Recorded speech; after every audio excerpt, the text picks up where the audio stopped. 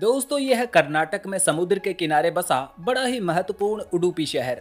ये शहर बेंगलोर से 422 किलोमीटर की दूरी पर मौजूद है।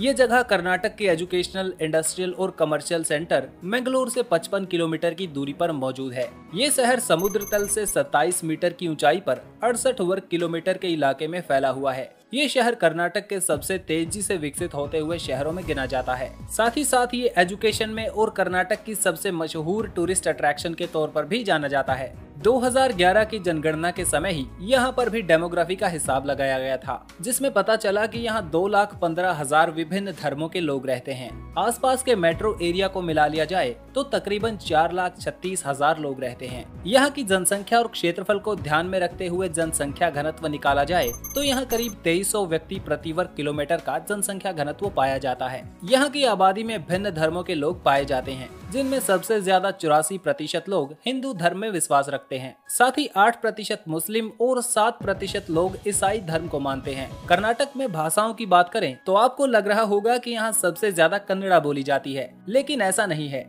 यहाँ की लगभग बावन फ़ीसदी आबादी तुलु भाषा में बात करती है कन्नड़ा बोलने वाले लोग लगभग 16 प्रतिशत के आसपास हैं। इसके अलावा कोंकणी, उर्दू, मराठी, मलयालम और तमिल जैसी भाषाएँ भी यहाँ थोड़ी थोड़ी मात्रा में बोली जाती हैं।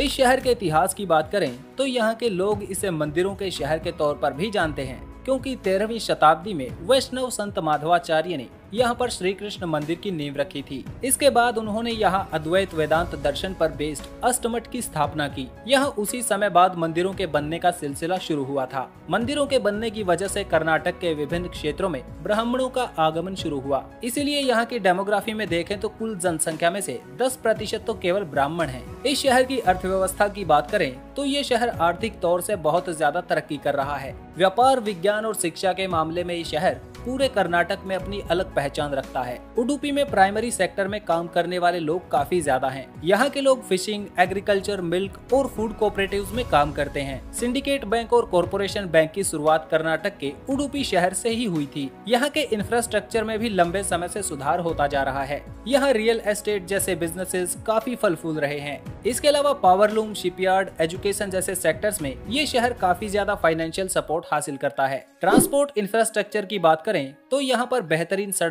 रेल मार्ग और हवाई सुविधाएँ मौजूद हैं। यहाँ से नेशनल हाईवे छियासठ और एक सौ उनहत्तर ए गुजरते हैं इसके अलावा यहाँ के कुछ state highway roads Karkala, Dharmasthala और श्रृंगेरी तक जाती हैं। इन रोड्स पर सरकारी और प्राइवेट दोनों तरह की बसें आपको कर्नाटक के विभिन्न शहरों और राजधानी तक ले जाती हैं। हवाई मार्ग से भी उडुपी पहुँचना बहुत आसान है उडुपी का अपना तो कोई एयरपोर्ट नहीं है, लेकिन यहाँ से 55 किलोमीटर दूर मैंगलोर में एक इंटरनेशनल एयरपोर्ट मौजूद है, जहाँ से आप भारत के किसी भी कोने में जल्दी से जा सकते हैं कोंकण रेलवे डिवीज़न के अंतर्गत आने वाला उडुपी रेलवे स्टेशन यहाँ का महत्वपूर्ण रेलवे स्टेशन है, जहाँ से कन्याकुमारी, बेंगलोर, चेन्नई, दिल्ली और मुंबई जैसे शहरों तक सीधी ट्रेन जाती हैं। दूसरे ट्रांसपोर्ट ऑप्शन के अलावा यहाँ करीबी हार्बर यहाँ से लगभग पाँच किलोमीटर दूर है, जिसे मालपे हार्बर के नाम से जाना जाता है। कैसा लगा आज का वीडियो कॉमेंट करके ज़रूर बताइएगा। अगर वीडियो अच्छा लगा हो तो वीडियो को लाइक ज़रूर करें। Thanks for